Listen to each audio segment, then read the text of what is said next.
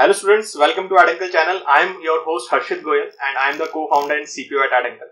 आज हमारे साथ एक बहुत ही स्पेशल गेस्ट हैं Divyanshi and she is all India topper for UGC NET commerce this this attempt the 2021 attempt and she has scored 99.99 percentile which is a dream for many students and we will be talking to Divyanshi and हम ये जानेंगे कि उन्होंने ये जो ये you can say milestone है ये कैसे अचीव किया है एंड इसके पीछे उनकी क्या मेहनत रही कैसे उन्होंने उसको लिए प्रिपेयर किया एंड वी आर होपिंग कि ये जो आज अपने एक्सपीरियंसेस शेयर करेंगी डेफिनेटली आपके लिए एक बहुत फ्रूटफुल कंटेंट होगा जिसको यूज़ करके आप अपनी जो भी प्रिपरेशन है उनको डिज़ाइन uh, कर सकते हैं और सोच सकते हैं कि कैसे आप प्रिपेयर करें ताकि आप भी वो अचीवमेंट uh, पा सकें जो दिव्यांशी ने पाया है so welcome Divyanshi welcome to Eden Thank you so much for having me. Yeah, uh, so it's great to have you here. And uh, uh, before going to the session, uh, थोड़ा सा मैं भूमिका बता देता हूँ कि session हमारा जो उसका पूरा फ्लो रहेगा वो कैसे रहेगा so will be discussing on various parts of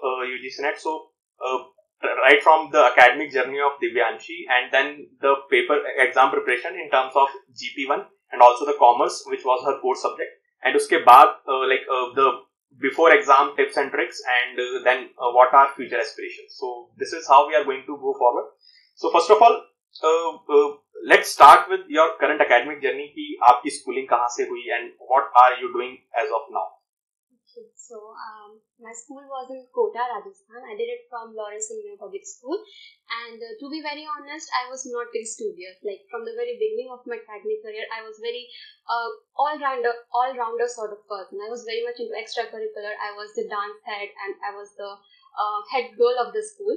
But I was not very much into like पढ़ाई पढ़ाई नहीं करनी है सिर्फ सब कुछ करना है life में. Then I went uh, for my bachelor's in Delhi, Delhi University, Ramdas College. It was a mixed experience because there I actually found people from various parts of the country and I actually encountered key uh, studies are very important. Like I will have to focus on it. Then um, moving forward to my master's, I am currently in the second year of my master's and I'm pursuing it from Delhi School of Economics.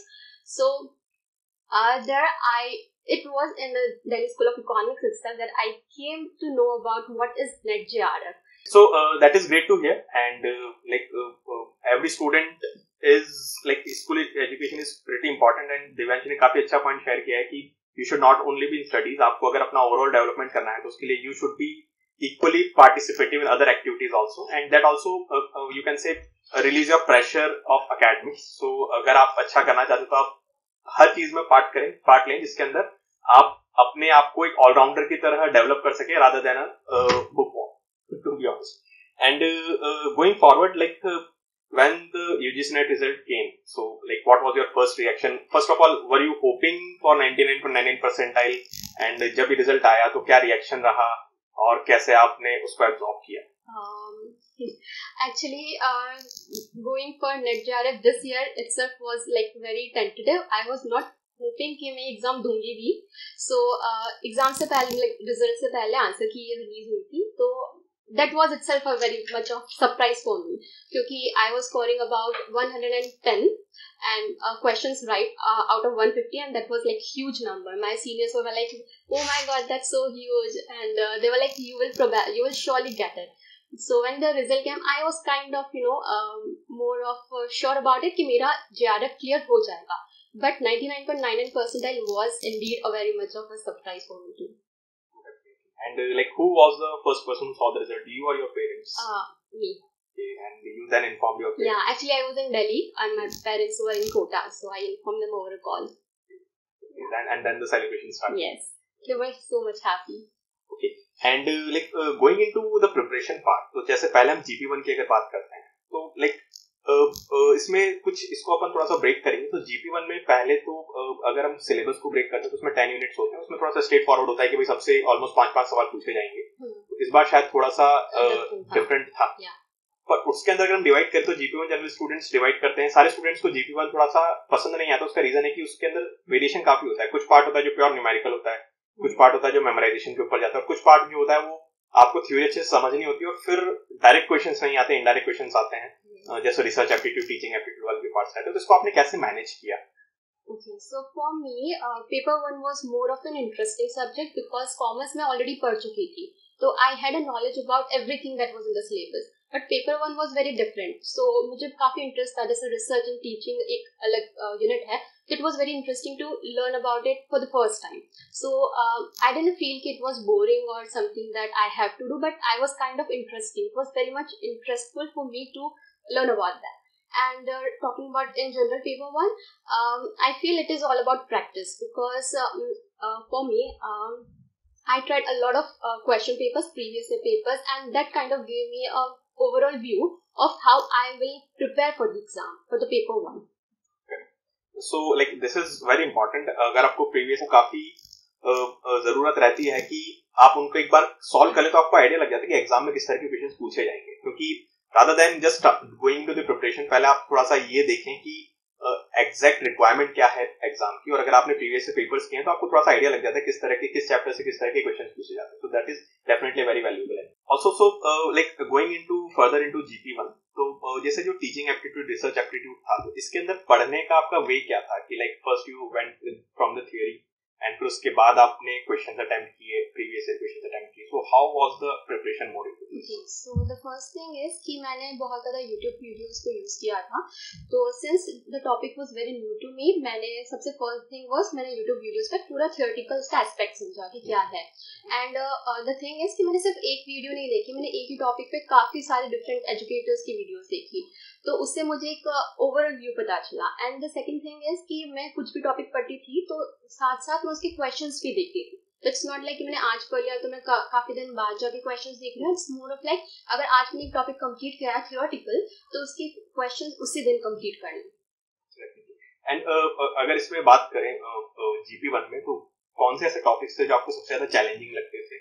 In terms of uh, either memori- like uh, hmm. memorizing, memorizing them or uh, practicing them or like solving numericals uh, like uh, for me people development unit जो था वो काफ़ी challenging था the sole reason is because उसमें काफ़ी ज़्यादा years थे like uh, कौन सी हमें कौन सा एक्ट पास हुआ तो फॉर मी वो थोड़ा सा चैलेंजिंग पार्ट था ऑल्सो आईसीटी बिकॉज़ मुझे कंप्यूटर में इतना ज़्यादा इंटरेस्ट है नहीं और मैंने बेसिक से भी मुझे ज़्यादा पता नहीं था तो उसको पढ़ना वॉज़ लाइक मोर चैलेंजिंग ये प्रॉब्लम काफ़ी जनरल जो काफ़ी स्टूडेंट्स के साथ होती है कि ईयर्स याद नहीं रख पाते हैं या कौन सा इवेंट किस ईयर में हुआ था या रिलेट नहीं कर पाते हैं। तो इसके लिए फिर आपने कुछ uh, ऐसा कुछ ट्रिक जो आपने अप्लाई किया? Yes I actually made a list of all the acts all the years and मैं उनको हर दो दिन में एक बार रिवाइज करती थी सो दैट कि मुझे वो ऑटोमेटिकली uh, रिमाइंड हो जाए। तो जब ये मैं कोई एक्ट देखती थी तो I will take the complete name it's not like the environment act it's environment act eighteen ninety act name and year साथ में एक ही बना लिया तो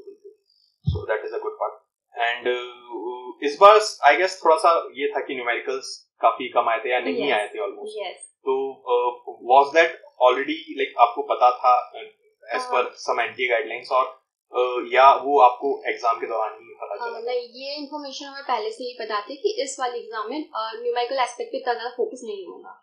Definitely. And uh, we also shared the article for the same on our website. So it is very like required कि आप up to date रहें। काफ़ी स्टूडेंट्स ऐसे रहे थे जिन्होंने न्यूमेरिकल uh, का अच्छे से प्रिपरेशन किया था और maybe they miss on the information किस बार ये नहीं आएगा।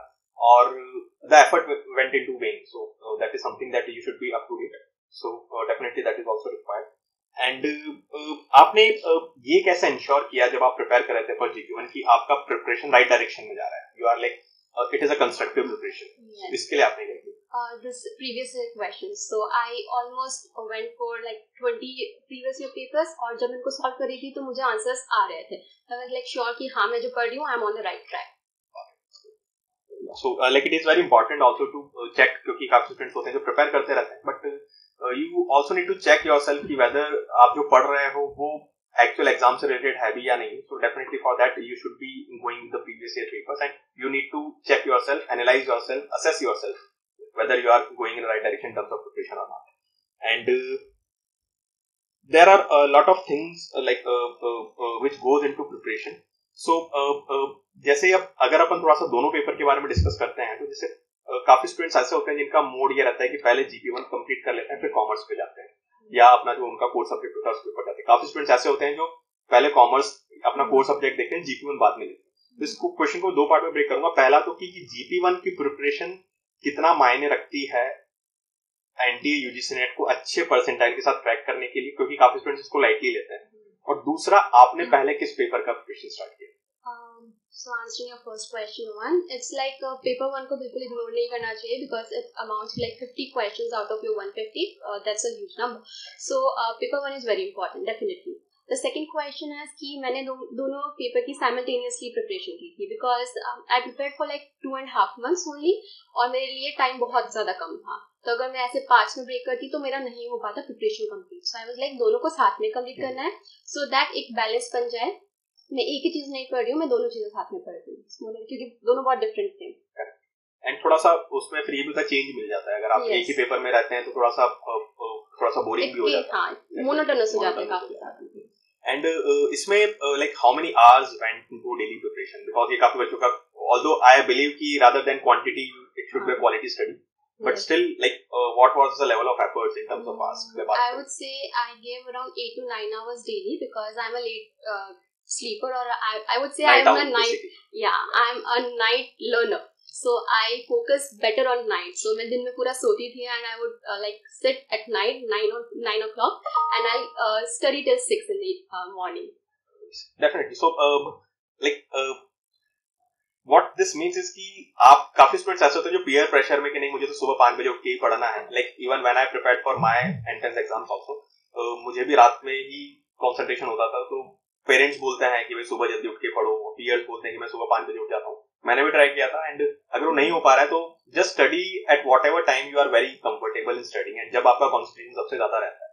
तो असेस योरसेल्फ की कब आपकी जो प्रोडक्टिविटी सबसे ज़्यादा and definitely that time is the right time that you should utilise whether it is a early morning time और late night time so this is helpful and going into now the commerce paper so commerce की अगर बात करते हैं तो commerce का first of all syllabus ही बहुत ज़्यादा है। तो काफ़ी स्टूडेंट्स तो सिलेबस कवर ही नहीं कर पाते तो पहला तो हमने सिलेबस कैसे मैनेज किया? इसके लिए आपने क्या किया कि आपने पूरा हंड्रेड परसेंट सिलेबस कवर किया था या आपने कट शॉर्ट किया सिलेबस और उसके बेसिस पे फिर आपने आपका क्या क्या स्ट्रेटेजी रहा सिलेबस को पिक करने का? Uh, मैंने पूरा सिलेबस कवर किया था बिकॉज़ मेरे जो सीनियर्स हैं जिनका ऑलरेडी जे आर क्लियर हो चुका था उन्होंने मुझे सजेस्ट किया था कि सिलेबस में कुछ भी छोड़ के नहीं जाना because NET J R F is the paper कि उसमें कुछ भी फिक्स नहीं होता। आपको किसी भी यूनिट में से कोई भी आपको लग रहा हो कि ये काम की नहीं है बट उसमें से भी क्वेश्चन आ सकते हैं। सो so, मेरा फोकस था कि मुझे अपना सिलेबस पूरा कवर करना है। दूसरा कि आपने पिक कैसे किया? जैसे आपने मतलब जो फ्लो था सिलेबस का तो वो कैसे डिसाइड किया? कि आपको कौन से टॉपिक्स पहले पढ़ने हैं कौन से टॉपिक्स बाद में actually it just came naturally कि ऐसा कुछ नहीं था कि मैंने बहुत प्लानिंग एंड वो किया हो। इट्स लाइक like, मुझे अभी पढ़ने का क्या मन हो रहा है? क्योंकि time table will not work अगर आपका मन ही नहीं लग रहा है पढ़ने में। तो इट्स लाइक अगर मुझे अभी पीपल एंड डेवलपमेंट यूनिट पढ़नी है तो मैं उसको पढ़ूँगी। अगर मुझे अभी लीगल पढ़ना है तो मैं वो पढ़ूँगी। सो इट्स नॉट लाइक कि मेरा टाइम टेबल फिक्स है।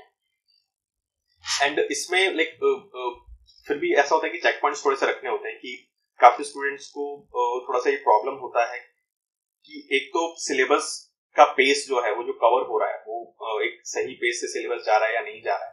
एक तो इसमें आप चेक पॉइंट्स कैसे रखते थे कि जैसे अगर इस तरह के मिक्स लर्निंग हम कर रहे हैं तो मिक्स लर्निंग के अंदर कैसे ये इंश्योर करें कि जो सिलेबस उसके कुछ टॉपिक्स किसी पर्टिकुलर चैप्टर के छूट नहीं जाए। यस सो इसके लिए बहुत इंपॉर्टेंट चीज़ ये मैंने जो किया था वो ये था सिंस आई ऑलरेडी सेट कि मेरे पास सिर्फ़ टू एंड हाफ़ मंथ्स थे। सो so, मैंने before starting with my preparation मैंने एक टाइम अलॉट कर दिया था। लाइक like, ये यूनिट मुझे आती है ऑलमोस्ट तो मैं इसको कम टाइम दूँगी। तो लेट्स से कि एक यूनिट है उसको मैंने तीन दिन अलॉट कर दिया। एंड uh, एक यूनिट है जो मुझे नहीं आती मुझे पढ़ना है तो मैंने उसको फाइव डेज़ अलॉट कर दिया। एंड मैं फोकस कर रही कि मुझे इन तीन दिन में यूनिट कंप्लीट करनी ही है। So there will be like ऐसा नहीं हो सकता कि फोर्थ दिन तक वो एक्सटेंड हो जाए। नो मुझे वो तीन दिन में ही कंप्लीट करनी है। तो इट्स काइंड ऑफ़ अगर आपका एक दिन एक्सटेंड हो जाता है तो आप ट्राई करोगे कि आपका दूसरी यूनिट कम दिनों में कंप्लीट हो जाए। तो it So like having strict uh, yes, timetable and timelines, uh, hard deadlines, that is very important because that motivates you to complete things in a timely manner. And थोड़ा सा अगर आप loose रहते हैं कि ठीक है अभी मैंने दस दिन में सोचा था नहीं हुआ पंद्रह दिन हो गए। तो फिर वो ये है कि पूरा सिलेबस आपका डिले कर है सो प्लान अकॉर्डिंगली आप ये देखिए कि आपके पास कितना टाइम है, उसमें कितने यूनिट्स हैं और आपको फिर कैसे कैसे, किस किस यूनिट्स में खुद को डिवाइड करना है टाइम अपने सिलेबस को। और उसमें एक और इम्पोर्टेंट चीज़ जो दिव्यांश ने शेयर की वो ये है कि आपको ये भी पता होना चाहिए कौन से यूनिट्स आपके स्ट्रॉन्ग है, कौन से यूनिट्स आपके वीक है। सो अब फोकस जनरल ये रहता है कि ये रहना चाहिए कि भाई वीक टॉपिक्स को पहले कर लो आप, ठीक है? स्ट्रॉन्ग टॉपिक्स तो आप बाद में भी तो वो हो जाते हैं। जनरली होता है ये कि स्ट्रॉन्ग जो होता है उसी को बार बार पढ़ते रहते हैं। तो उसके, उस उस वजह से जो वीक टॉपिक्स रहते हैं वो अपने जनरली थोड़े सा मिस हो जाते हैं। And as exam is very extensive जिसमें पूरा सिलेबस आता है तो definitely this will be helpful कि अगर आप uh, सारे यूनिट्स को थोड़ा थोड़ा पूरा एक बार पढ़ के वीक्स यूनिट्स को अगर आप वीक यूनिट्स को अगर आप पहले लेते हैं तो डेफिनेटली वो आपकी काफ़ी इसके अंदर हेल्प करेगा।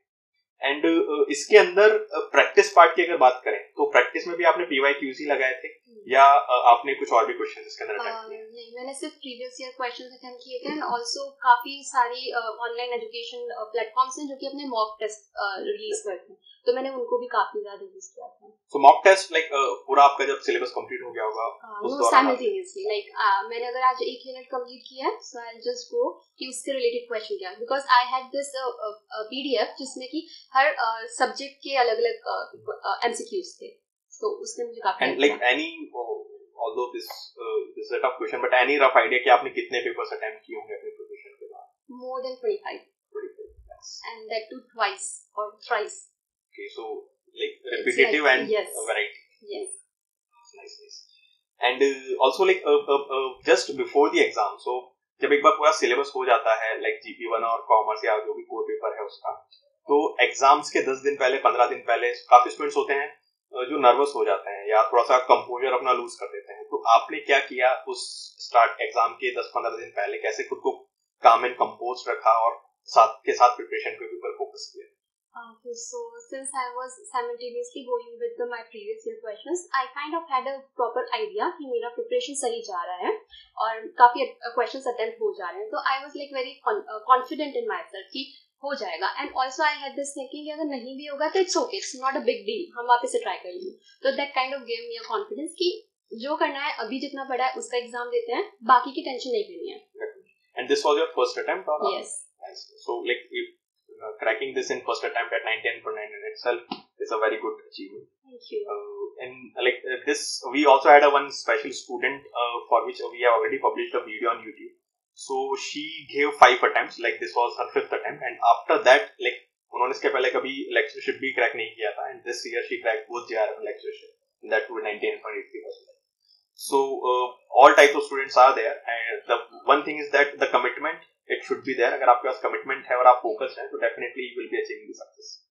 And uh, uh, also any uh, tips or anything that you would like to share to all the viewers who are watching this video related to their preparation की what are those few important things जो student को preparation के पहले uh, सोचनी चाहिए और और कुछ ऐसी चीज़ें जो preparation के दौरान भी उनको ध्यान में रखनी चाहिए।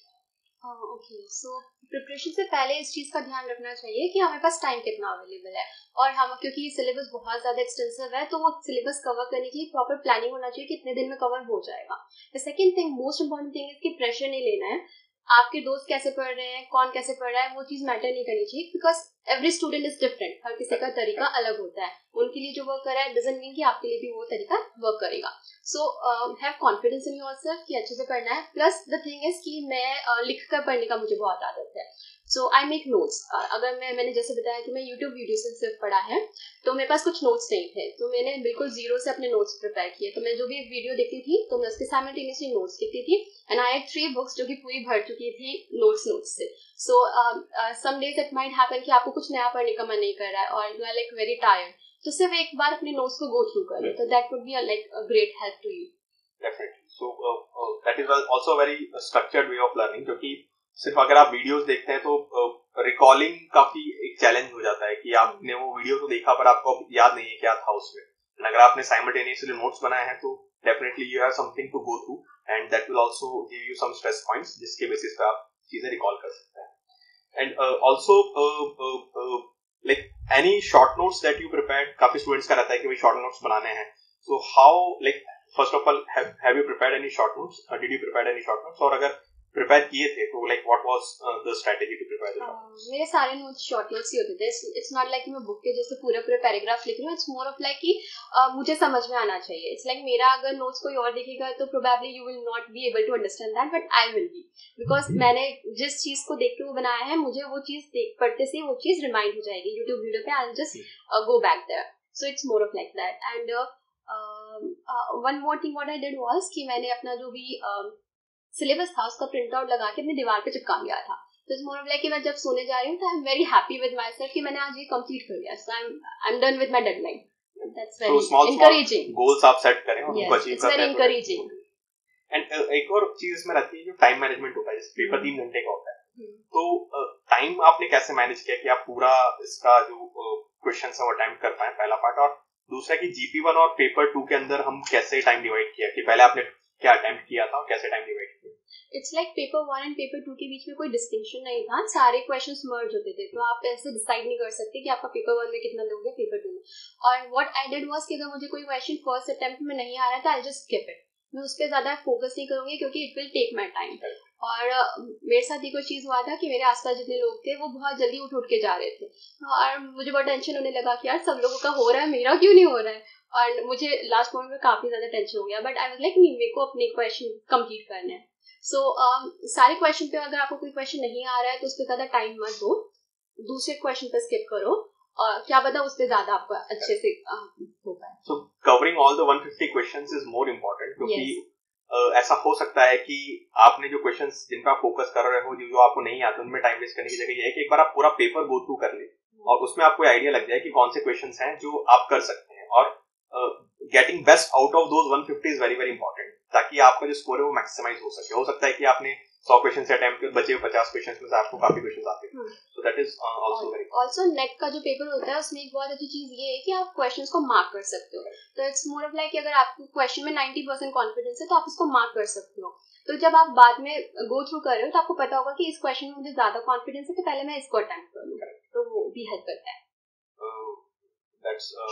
That is also like uh, you should be very much uh, aware of how, what are the functionalities of the online platform जिसके ऊपर आप टेस्ट दे रहे हैं? तो यूजीसी नेट की ऑफिशियल वेबसाइट एनटी की ऑफिशियल वेबसाइट पे there are mock papers with all the similar functionalities तो इट इज़ सजेस्टेड कि आप उस वेबसाइट के ऊपर जाके एक बार वो पूरा जो प्लेटफॉर्म उसको देख ताकि आपको आपको जो भी वहाँ पे ऑप्शन है मार्क करने का क्वेश्चन स्किप करने का रिव्यू मार्क करने का, वो सारी चीज़ें आपको पता है and definitely will be posting that link in uh, the description of this video as well so that you can visit the website and आप वहाँ पर वो टेस्ट अटेम्प्ट कर सकते हैं and coming to the last part uh, now like the uh, uh, you have already conquered the mountain or Everest and अब what are your future goals and future aspirations जैसे अभी आपका masters चल रहा है तो इससे कंप्लीट हो जाएगा तो फ्यूचर गोल्स आपके क्या है Uh, firstly, I'm trying for PhD. My first focus is PhD only, but simultaneously, I'm also thinking of going for UPSC. So that's something like all Indians go for once in their lifetime. So yeah, I'm planning for that too. So these are the two options. Yeah, I'm not. Yes, I'm not uh, fixed upon one yet, but these are the only two options for me right now. So uh, I guess this was a very helpful session for all the viewers who are uh, watching this video, and I, I would like to request everyone to like the video and share this video as much as possible so that जो दिव्यांशी का experience है वो काफ़ी लोगों तक पहुँच सके. And also subscribe to the channel ताकि ऐसे फ्यूचर में जो भी आपके लिए हेल्पफुल वीडियोस है हम जो लेके आते हैं आपको उसका टाइमली नोटिफिकेशन मिलता रहे. So once again congratulation Divyanshi. And you shared very valuable experiences and uh, i guess uh, your parents must be very proud because you scored. That's the best thing. That's the best thing. And uh, every child's dream is there He, apne parents ko life mein ek baar proud feel karwa so getting 99 for 99 is itself a very proud moment for them so thank you for uh, giving your time valuable time. Thank you so much for having me.